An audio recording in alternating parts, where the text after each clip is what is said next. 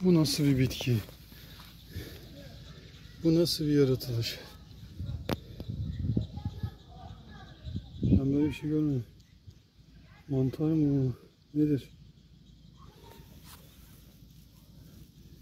Yere düşmüş bir dondurma zannettim.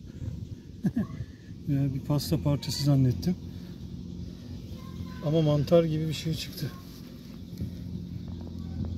Bunu koparayım mı? Kopardım lan. Gel bakayım.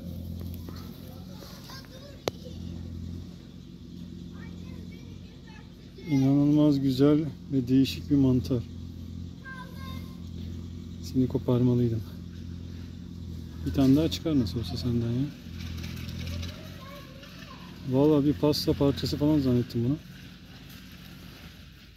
Veya ne bileyim süs gibi bir şey, plastik bir süs gibi bir şey zannettim. Ama böyle bir mantar çıktı. Ne kadar değişik çeşit mantarlar var ya. Neler yaratılmış. Neler. Dondurma gibi yalayacağım şimdi bunu.